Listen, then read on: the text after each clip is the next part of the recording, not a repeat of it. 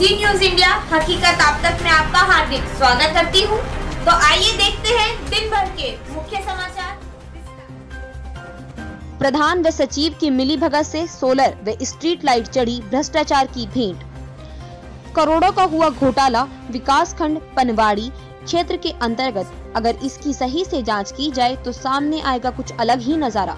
देखने वाली बात यह है कि किसकी जाँच होती है या कचरे के डिब्बे में ऐसे ही डाल दिया जाता है पनवाड़ी महोबा ग्राम पंचायत पनवाड़ी एवं नखरा खैरो कला, बुडेरा दादरी, भरवारा महुआ, मसूदपुरा, पीपरी, निसवारा, नैकपुर, अमानपुरा, तैया, महोबकंड एवं लगभग सभी ग्राम पंचायतों में सोलर व स्ट्रीट लाइट चौधरी वित्त के तहत लगाई गई थी ग्राम वासियों का कहना है कि यह लाइट लगने के बाद कुछ ही दिनों में बंद हो गई।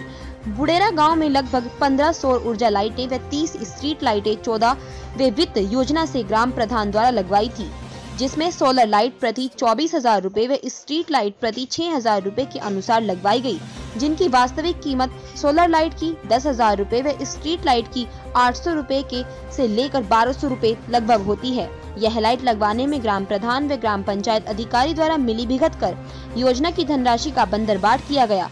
जिसमें आधे से भी अधिक कमीशन खाया गया। इसी कारण गाँव में यह लाइटें बंद पड़ी हैं। भारत सरकार की महत्वाकांक्षी योजना के तहत ग्राम पंचायतों को चौदहवें वित्त योजना के तहत धन आवंटित किया गया था, जिसमें मुख्य रूप से गाँव में प्रकाश की व्यवस्था की जाए, पानी की निकासी की जाए, साफ़ सफ़ाई की जाए व सड़कें बनाई जाए। लेकिन धन के लालच में ग्राम पंचायत अधिकारी व प्रधान द्वारा अपनी ग्राम पंचायतों को आधे से भी अधिक धन गुणवत्ता विहीन लाइटों को खरीद कर बराबर किया गया। और कमीशन की मोटी रकम को अपनी जेबों में भर लिया गया, जबकि शासन के आदेश के अनुसार नेड़ा विभाग की ही लाइट लगना थी। लेकिन इसको दरकिनार कर फर्जी कंपनियों की लाइट आपूर्ति कर लगाई गई, जो चंद दिनों में ही बंद हो गई। गाँव के निकासी। रसक का कहना है कि मेरे दरवाजे पर स्ट्रीट लाइट लगी और लगते ही अगले दिन बंद हो गई।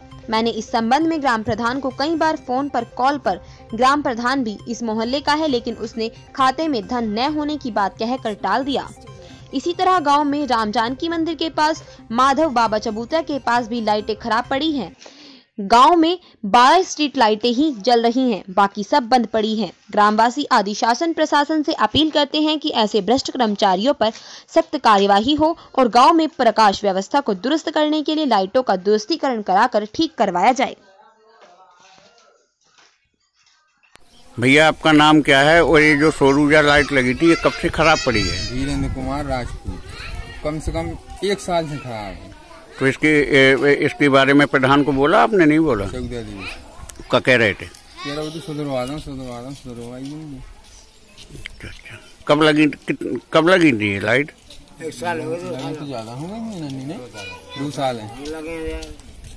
इसी के साथ जी न्यूज़ इंडिया हकीकत आप तक से जुड़े रहने के लिए हमारे चैनल को सब्सक्राइब लाइक एंड शेयर करें।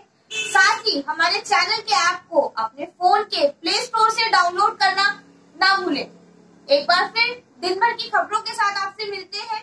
नमस्कार।